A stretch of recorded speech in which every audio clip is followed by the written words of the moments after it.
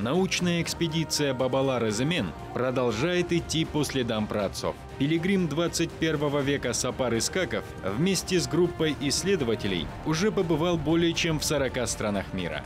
Ученые раскрывают волнующие тайны прошлого. Удивительная история большого путешествия в программе «По следам предков».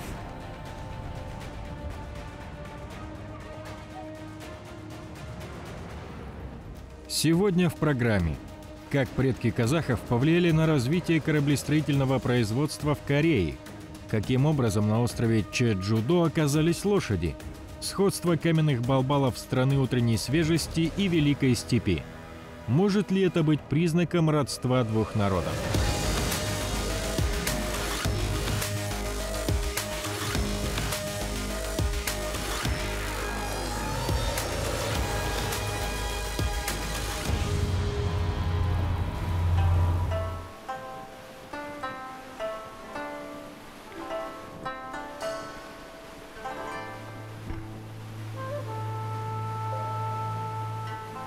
Участники экспедиции по следам предков намерены пройти по маршруту своих праотцов. В японском порту Фукуока они сели на паром и отправились в южнокорейский Пусан. Путь в 212 километров сейчас можно с легкостью преодолеть на современных судах. Дорога займет не более трех часов. В 13 же веке, чтобы пройти это расстояние, армии Хубилая понадобилось несколько месяцев.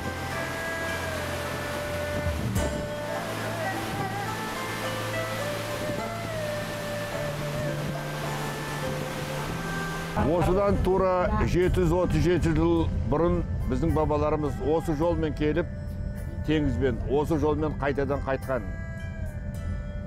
Больше семи столетий назад именно по этому морскому пути пришли и ушли наши предки. Это был 1281 год. Второй поход хана Хубилая, и он был безуспешным, впрочем, как и первый в 1274 году. Мы сейчас вышли из порта города Фукуока и направляемся в Пусан. Фукуока қаласынан портынан шықтық. Енді Пусанға қарай бара жатырмыз.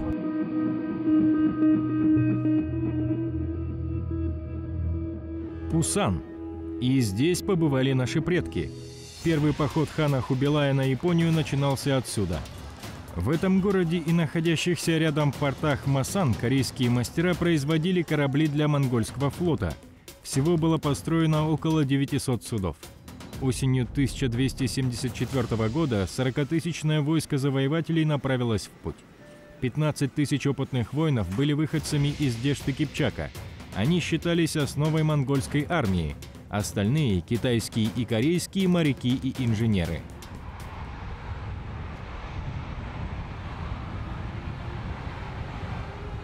В Пусане участники научной экспедиции были недолго – Дальше ученые последовали по пути монгольской армии, во главе которой были наши предки.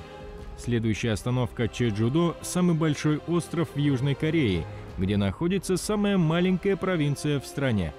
Во время второго похода хана Хубилая на Японию часть войска была сформирована именно здесь. Тогда в 1281 году большинство армий составляли корейцы – около 25 тысяч воинов, 10 тысяч сухопутных солдат – и 15 тысяч моряков.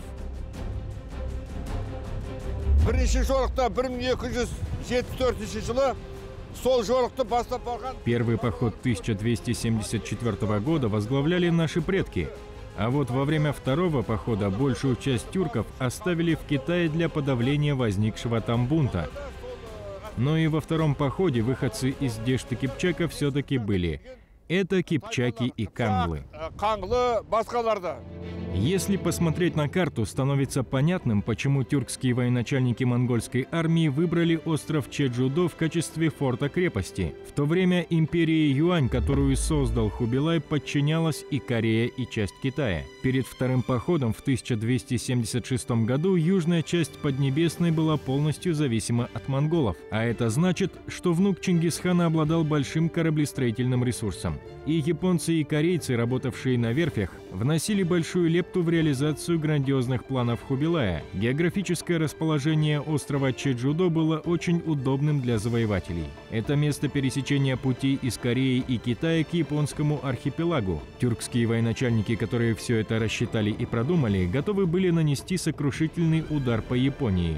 И эту страну тогда, безусловно, спас только тайфун. дауылдың күштілігі сондай болған сол кезінде мына менің артымда тұрған мысалы мынау қазіргі толқын Это был очень сильный ураган.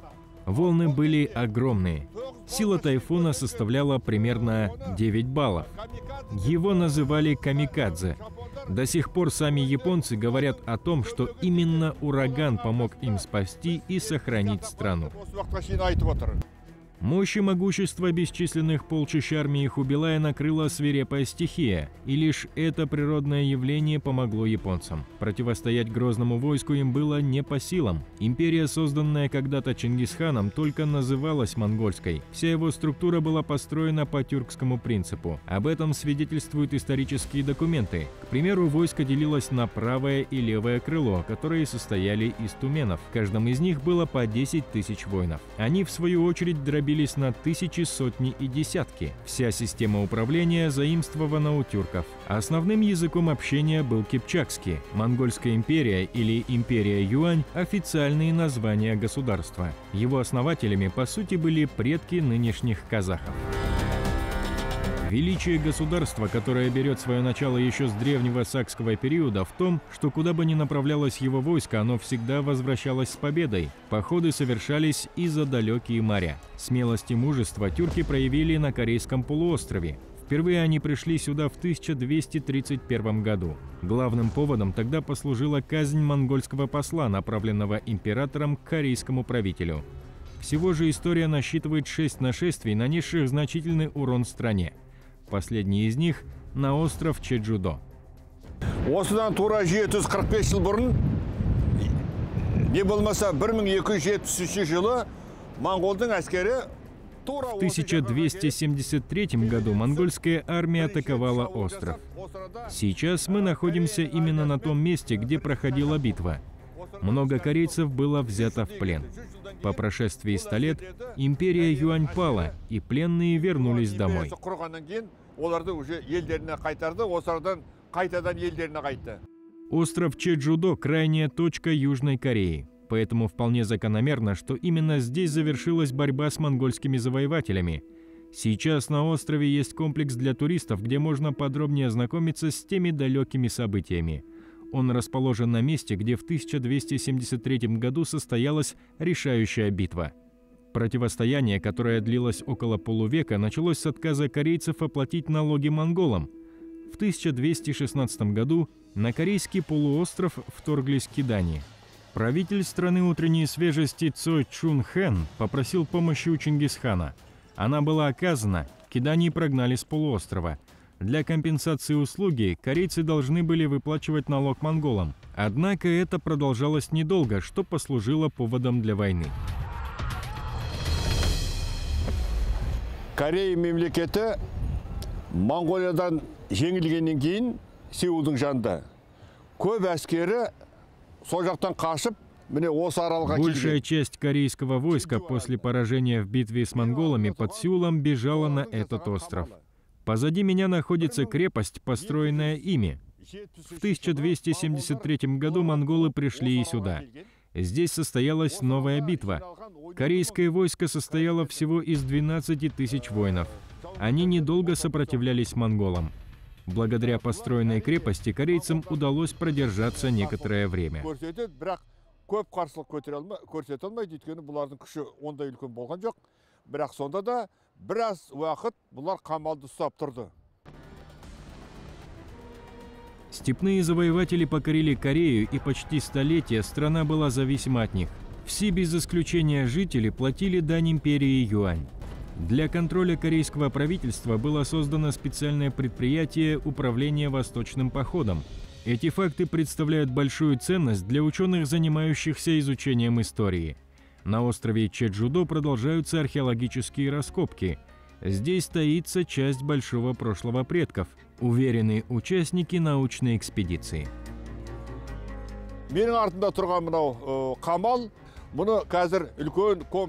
э, За мной крепость, вернее, оставшаяся от нее часть. Сейчас ее превратили в большой комплекс.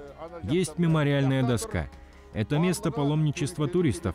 Здесь продолжаются раскопки. Виден фундамент сооружения. Этот музей – свидетельство уважения к истории страны. Здесь размещены картины, на которых изображены походы монгольской армии на Корейский полуостров и японский архипелаг. Изображения на них воссоздают практически всю картину тех далеких событий. Немало полотен посвящены строительству судов.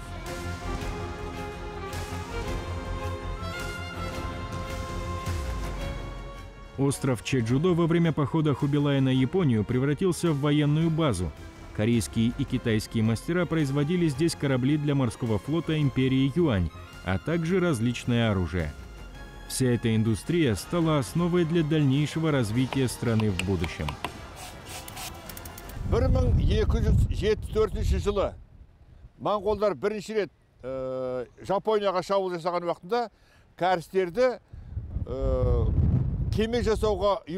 в 1274 году, во время первого похода монгольского войска в Японию, здесь было организовано производство судов корейцами. Именно на этом острове выпускали корабли. Особенно много судов было сделано в районе города Пусан. И уже на кораблях, построенных здесь, монголы совершили поход на Японию. На верфях работали корейцы и китайцы, они же обслуживали корабли. Воевали сами монголы и тюрки из Дешты Кипчака. Кипчаки были очень сильными воинами. кәрістер болды и қытайлықтар болды ал соғысқан олар моңғолдар и дешті қыпшақтан келген жауынгерлер болды өйткені олар нағыз жауынгер халық У корейцев есть такая поговорка. Народ надо отправлять в Сеул, а лошадей в Чеджу. Именно этот остров знаменит своими лошадьми. Туристы, в том числе и японцы, часто приезжают сюда покататься на лошадях. Кроме того, это излюбленное место тех, кто ценит конину и блюда из нее. К примеру, сашими хве. На эти блюда-деликатесы всегда большой спрос. Раньше конину здесь ели только представители царской семьи.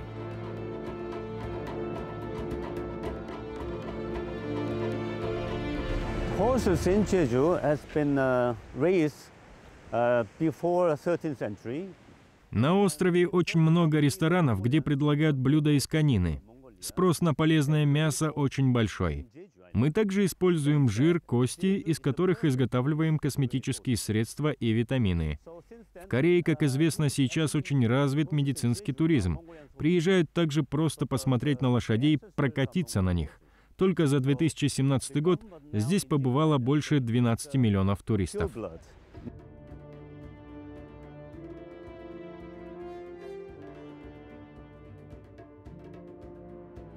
На Чеджудо лошадей завезли предки казахов. В 1273 году после захвата острова Хубилай-хан оставил здесь около трех тысяч своих воинов. Именно они начали развивать здесь коневодство. Вот уже больше семи веков здесь хранят эти традиции. Развитие отрасли продолжает вносить свой достойный вклад в экономику страны. Ученые университета Конкук не раз приезжали в Казахстан, чтобы изучить опыт коневодов. Сол үш мың адам гарнизонның ішінде әр жақтан келген халықтар болды. Оның он шақты пайызы моңғолдар Среди тех трех тысяч воинов были представители разных народов. Около 10% монголы, больше 50% выходцы из Дешты Кипчака. Они развивали свое исконное ремесло на острове. По словам местных жителей, сейчас на Чеджудо есть около 20 тысяч лошадей. По всей Корее насчитывается 40 тысяч, и половина из них на этом острове. егер барлық корея аралында 40 мың жылқы болатын болса соның жартысы осы аралда қазір тұрады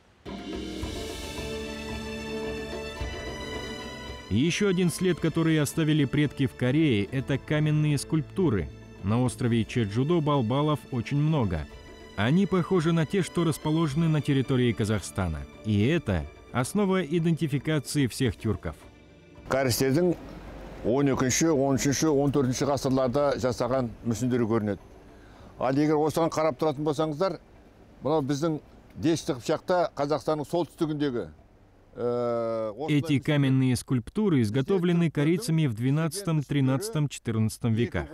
На севере Казахстана очень много подобных балбалов. У нас скульптуры держат в руках пиалу с кумысом, а здесь балбалы с цветами в руках. Это главное отличие. В остальном они схожи.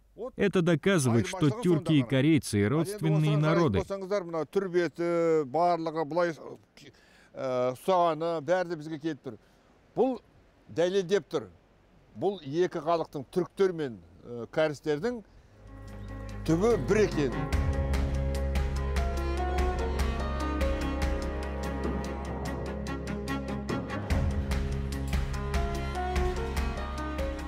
Участники научной экспедиции по следам предков с острова Чеджудо отправились в столицу Кореи, город Сеул. Там они побывали в крепости, которая отражала одно из первых нашествий монголов на корейский полуостров, и встретились с местными историками. Крепость Сангсон была резиденцией царства Коре. мына қазір келіп тұрғанымыз санксон қамалы бұл сеул э, қаласынан онша көп емес э, қырық шақырымдай жер Мы находимся в крепости Сансонг. Она расположена в 40 километрах от Сеула. В 1231 году эта крепость при вторжении хана Угидея впервые оказала сопротивление завоевателям. Общая длина крепости по периметру около 7 километров. Высота в некоторых местах достигала 7-8 метров. Где-то была по 3-4 метра. В то время Корея в плане политического, экономического развития была слабой. Воспользовавшись этим положением, монголы завоевали страну в короткий период. Правители подчинялись завоевателям и выполняли все их указания. бұның патшасы э, монғолдарға басын иіп оның э, осындай э, билігін мойындады Предводителем монгольского похода 1231 года был военачальник по имени Сартай. Корейским воинам было сложно противостоять хорошо обученным и опытным в сражениях тюркам, которые составляли основу монгольского войска. Корейский правитель и все его окружение было вынуждено бежать на остров Канхвадо. Однако завоеватели настигли их и там. Так царство Коре стало частью Монгольской империи. Тюркские военачальники управляли страной из крепости Сансонг. Монгольская империя совершила на Корею 17 набегов. Было несколько крупных битв. Все эти события повлияли на дальнейшее развитие нашей страны. К примеру, у нас до 13 века не было своего алфавита. Мы пользовались китайскими иероглифами. После монгольского нашествия появился собственный алфавит. Были вот такие положительные моменты. Похоже, что родственные корни наших народов тоже каким-то образом повлияли на ход событий. Почти вековое господство монголов послужило толчком для развития Кореи. Народ почувствовал ценность единства. До монгольского нашествия вся территория страны была поделена на множество царств. Они постоянно враждовали между собой. Ситуация изменилась в период монгольского господства. Корейцы объединились вокруг одной общей цели – обретения свободы. Именно в этот период в стране было сделано немало великих дел. Тому доказательством служит вот этот дворец Кенбоккун, построенный в XIV веке. Все правители, которые управляли страной из этого дворца, принесли много пользы для своего народа моңғолдың шапқыншылығы бұл жерге қатты әсер етеді Ә, былайша айтқан кезде корей мемлекетін ә, сол кездегі патшалықтарды күйретіп жібереді Монгольское нашествие очень сильно повлияло на страну. Полностью была разрушена система государственного устройства того времени. Нанесен большой удар по политической, экономической и социальной сферам страны. В Северной Корее, которую тогда называли Коре, в месте, где сейчас идет строительство завода Кисон, располагалась первая столица царства Коре. Позже ее перенесли в Южную Корею. келеді